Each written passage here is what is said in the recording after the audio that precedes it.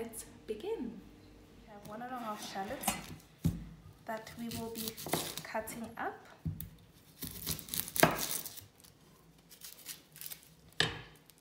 I'll also be using three large carrots. Not, hold on, let me just, let me do that again. I have one and a half shallots that we'll be using up. And luckily I already prepped my vegetables. I didn't cut them up though, which was a bad idea. I should have cut them up beforehand because now it's going to waste my time. But am I speaking too softly? Okay. Um, one and a half shallots. I'll be using one large red chili. This is large.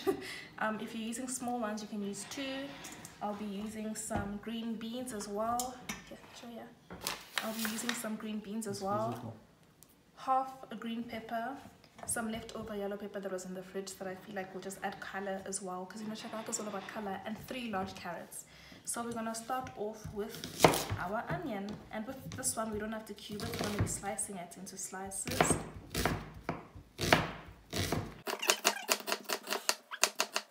We'll also be cutting up a chili one. This one's not that hot, so don't worry about it. And even if it was, it's, it's not your business. Mind your business. Slicing this in half to remove the seeds because we don't want it that hot. You know, we want it hot, but like not unbearably hot. Remember this teaspoon? Yes, this teaspoon is going to be our star again. And ensure you wash your hands when you touch chili. You, hmm.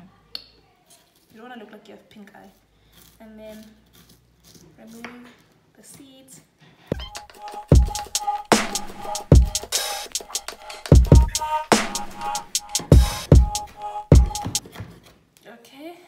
Also be adding in a thumb of ginger wow, for some kick.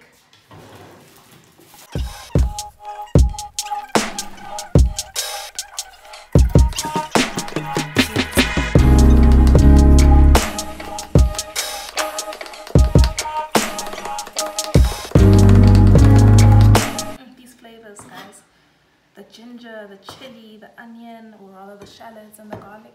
We're going to switching on our pan. We just need the small one, heating it up before we add in. And in goes our shallots, our chili, and ginger. The kitchen is to smell really powerful today.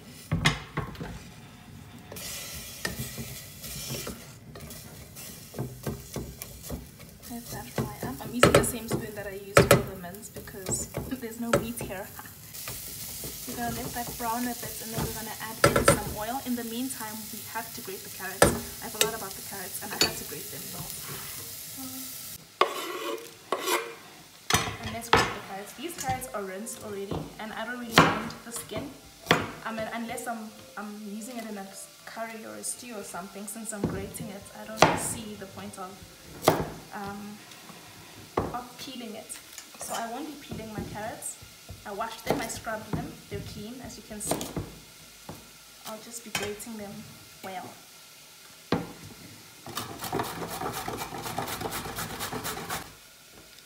I'm gonna eat that, don't worry. Next carrot. By the time I'm done grating, or aromatics you rather say, should have browned and I'll add in some oil and the carrots and our spices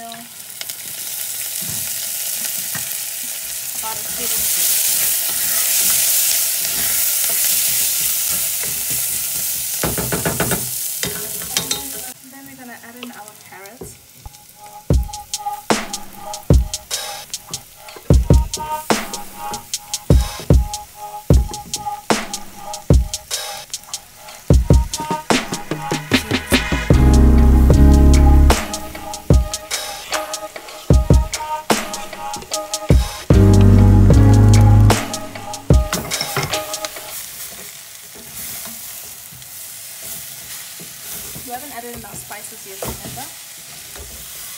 add them in shortly. I'm just letting our onions do their thing and the carrots cook down a bit. And then these are some whole cumin seeds that I'll be adding into here just so that the spice can um, be imbued in the carrots. I should have added this in with uh, the chili and the garlic to temper it for the for more power, but I forgot honestly, so I'm gonna add it in now before I add the other spices. This will really up the flavor. Okay. I want to increase the heat again.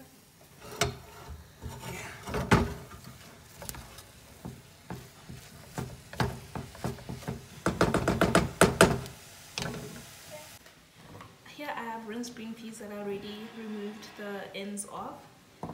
And um, I think I'm going to be adding these, cutting these in half once, the long ones that is. And then, yeah, as you can see, they're also really old. So I'm trying to use up as much vegetables as I can. Um, some people don't put green peas in theirs, but I figured why not, you know. You know, whatever veggies, as long as it's colorful then I'll be adding that in and I'll also be adding in peppers so I should also probably cut this as well but I won't be adding peppers immediately. Like I said I don't like my peppers mushy especially green pepper. It doesn't taste that nice when it's mushy adding in my green pepper. Gonna slice this into strips. The green yellow, the orange, the red from the chilies, the red from the beans. We're using this can, one can of, of cubies. To that, I'll be adding in my green peas. The thing I like about chakalaka is you can make it your own, you know? You can make it the way that you like to eat it. If you like more peppers, you put in more peppers. If you like less carrots, you put in less carrots. If you want a different spice, you can use different spices.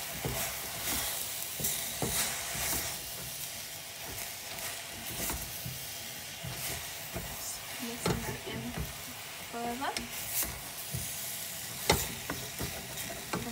I'll be adding in two teaspoons of garlic. One, two. If you like less garlic, you can put one teaspoon instead of two or leave it out altogether. It's up to you. I like mine with a lot of carrots. So hence the mini carrots. Oh,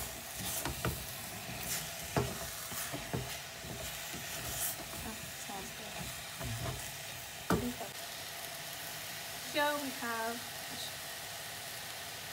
here we have two teaspoons of masala powder, a teaspoon of cumin and coriander mix, and a teaspoon of black pepper. Um, you can also add curry powder if you like. I think masala powder will be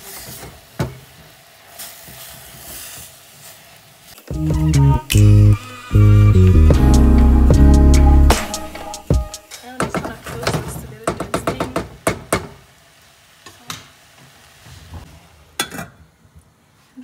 Reduce the heat.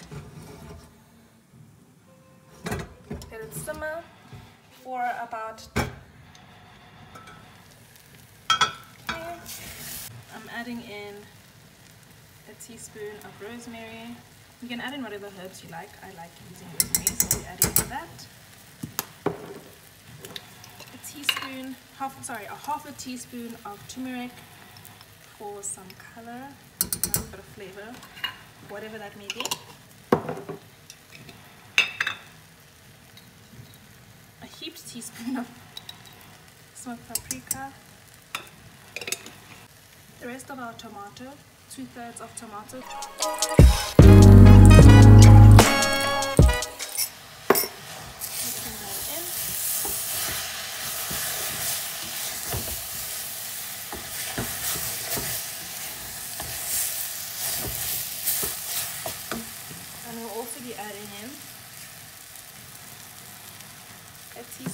of sugar. This is a teaspoon. I measured it, don't worry. A teaspoon of sugar. After mixing that well, I'll be adding in a tea, a tin, tea, a tin of our baked beans. If you have nails, be careful. Easy to open.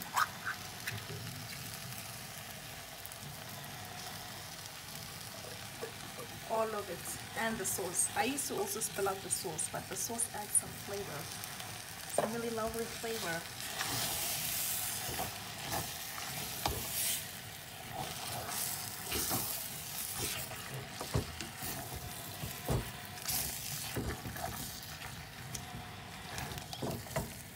Other people make this and they use a three bean tin. Other people use chickpeas. I've seen people use chickpeas make like a. Think it's a bit unconventional, but hey, whatever floats your boat.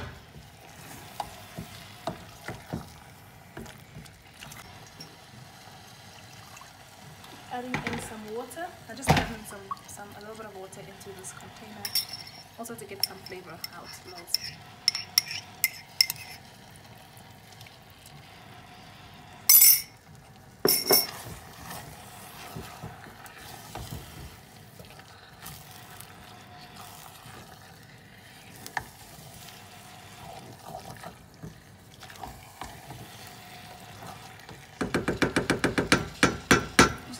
Its thing and then I'll add salt at the end. And let that simmer for about two minutes and then we'll be done. Reduce the heat.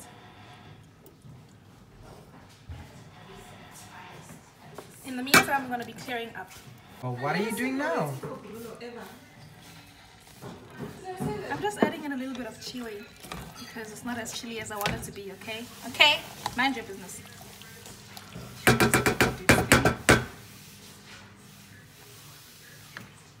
Adding in some salt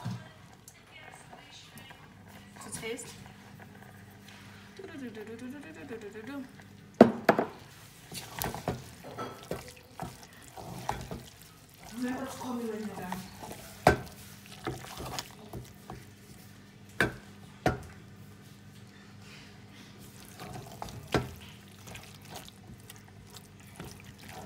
Let me taste the green bean for some salt.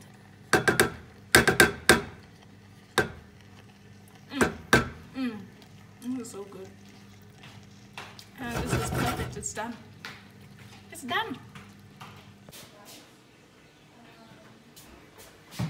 And adjacent to that, we have our chakalaka steaming.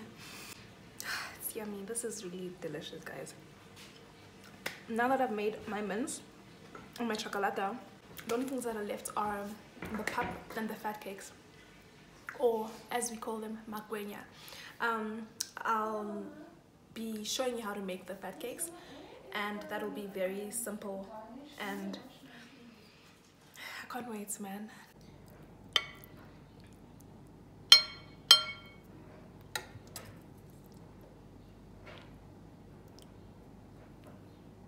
We have some chakalaka. And I also made some potato salad because you know at braais they always have potato salad. So I have some potato salad with some vegan mayo and garlic and herb spice and some corn. Not a lot.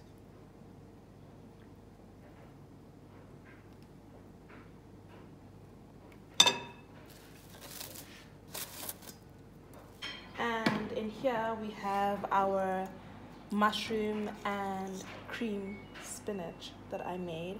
This is so delicious. I made it with coconut milk and some sauteed mushrooms with onion that I blended. In fact, if you don't know how to make this, just ask and I can show you.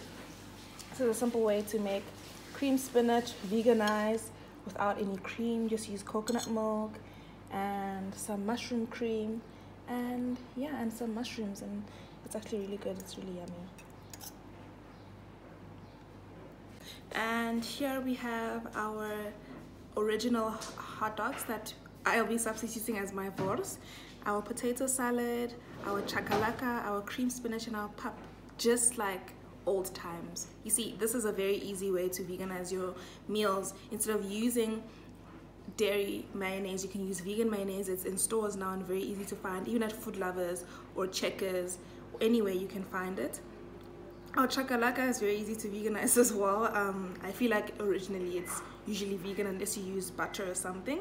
And our cream spinach, we didn't use dairy cream, we used coconut cream and we made our own mushroom sauce and then we cooked it with the spinach and there we have it your own vegan braai meal that is your meal and i am going to dig in mm. Bye.